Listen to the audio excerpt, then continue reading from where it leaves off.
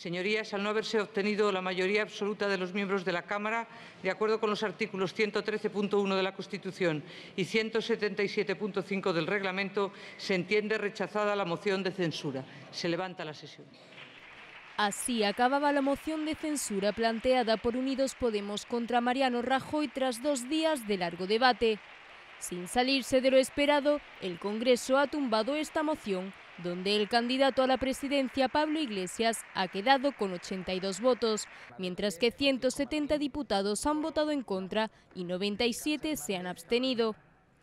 Un resultado que ha dejado satisfecho a Mariano Rajoy y con el que ve un claro significado y ha habido un rechazo que para mí es muy importante porque se ha producido también en otros países de Europa a los radicales a los extremistas.